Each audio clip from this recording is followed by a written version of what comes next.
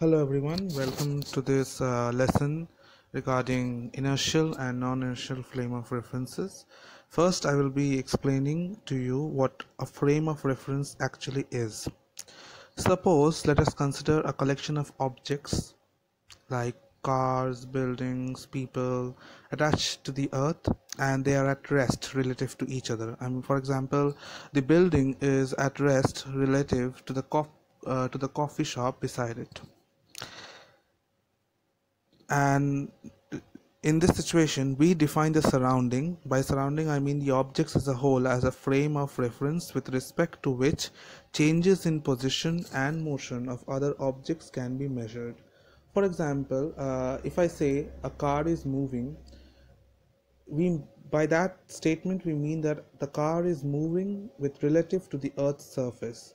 But uh, for a person who is sitting inside the car the car is at rest because the person and the car both are moving together. So you see it depends upon the point of view the observer. The motion is described from the point of view of the observer. The technical definition of a frame of reference is it consists of a set of physical reference points that uniquely locate and orient the coordinate system and standardized measurements of objects to be observed we use the Cartesian coordinate system, the polar coordinate system to define a frame of reference. It is basically from the, from the uh, point of view of the observer. We have to remember a few things. Every motion is associated with a frame of reference, whether it is at rest, whether it is, it is at uniform motion, or whether it is accelerating. The preferable frame of reference is an observer and the observer's state of motion. Generally, we consider the observer to be the frame of reference with respect to which a motion is described.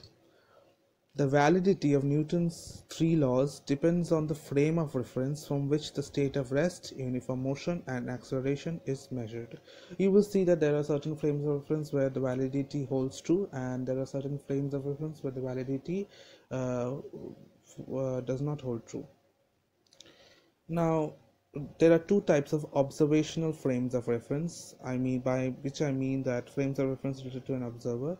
The first one is the inertial frame of reference. In this frame of reference uh, newton's first law holds true. Any other frame of reference moving at a constant velocity at or at rest with respect to an inertial frame of reference is also inertial we have to know that the first feature of an inertial frame of reference is uh, that the Newton's first law holds true.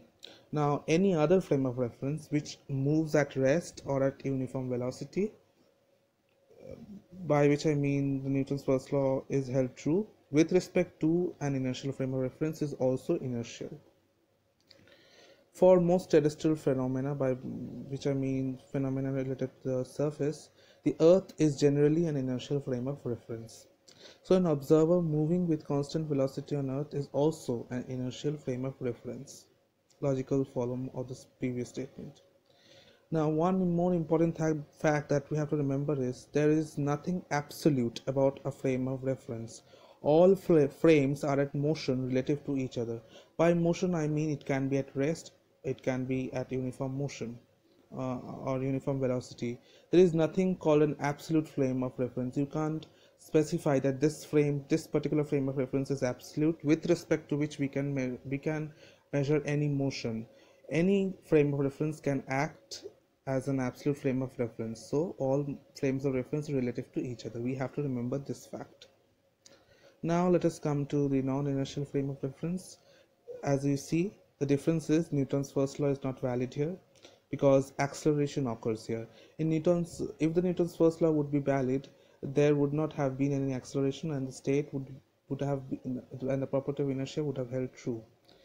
A frame undergoing acceleration with respect to an inertial frame of reference is a non-inertial frame of reference. In the previous frame of reference we had a frame of reference undergoing at undergoing the motion of state of rest or the state of uniform velocity that would have been an inertial frame of reference but a frame undergoing acceleration that is velocity changing with time that would with respect to an inertial frame that would be a non-inertial frame so because of this statement the second law does not hold true because you see uh, this acceleration uh, changes the state of inertia. So the Newton's second law, that is force equals to mass and product of mass and acceleration, does not hold true. To make it hold true, we have to introduce a concept of another imaginary force. We will study that soon. So if we consider the statement, if a non-inertial frame of reference is moving with an acceleration a naught or a0 relative to the inertial frame, the second law of motion is modified to F minus m a naught equals to ma.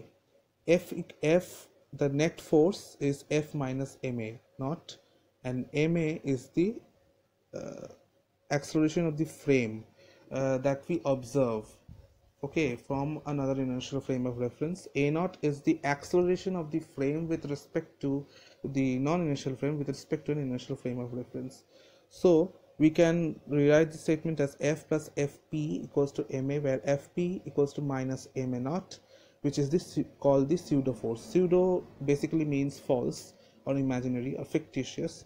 So this force is fictitious in nature. Now one more important characteristic of this statement is uh, that the pseudo force is always uh, opposite the accelerate uh, the motion uh, which the frame of reference undergoes. So if ma is in a particular direction then the fictitious force or the pseudo force is in the opposite direction. Okay.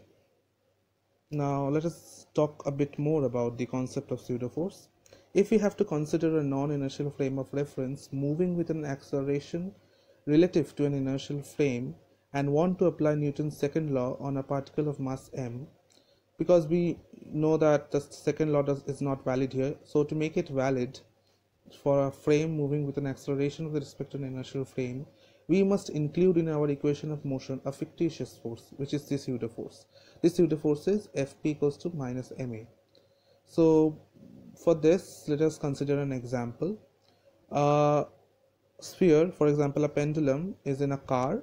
The car is moving towards the right with an acceleration a. Now, there are two observers here. One is an inertial observer in an inertial frame of reference, that is observer 1 here. And there is another uh, observer 2, which is in a non inertial frame of reference because the observer is inside the car observing the pendulum. And the car is moving right with an acceleration a.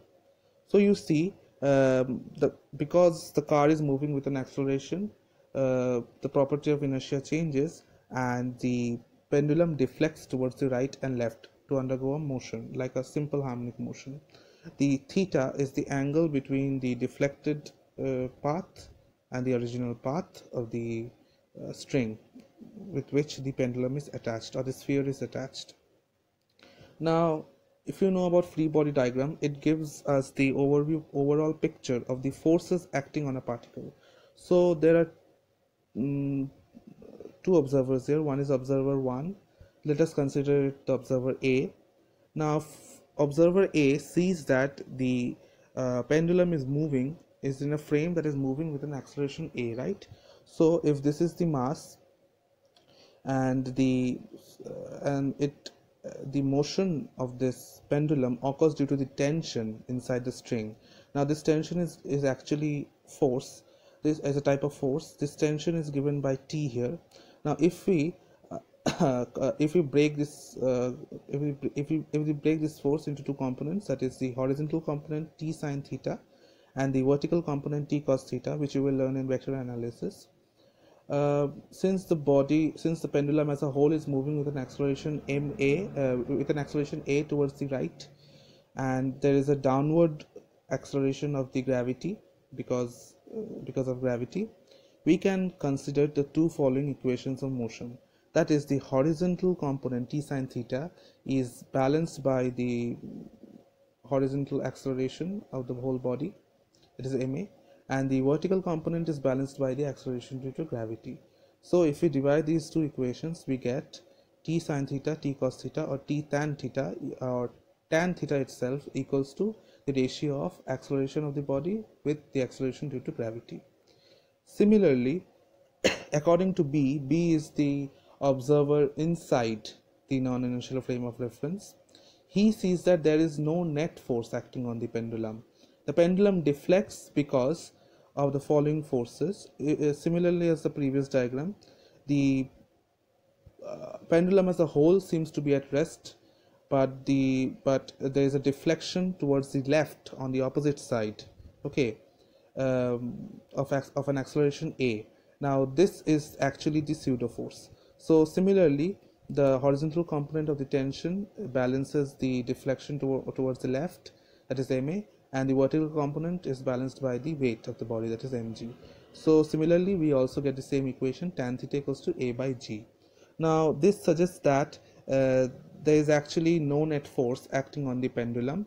This ma that we are considering here in the opposite direction that is in the left direction contrary to the previous example is actually the fictitious or the pseudo force here. So students i hope you understood a little bit more. In the next lesson we will cover cover about two important consequences about uh, related to pseudo force one is the concept of centrifugal force and another is the concept of apparent change in the weight uh, measured during the motion of a lift and that concept will be very important during sums which you will be solving because you are a medical aspirant. So thank you. Um, see you next time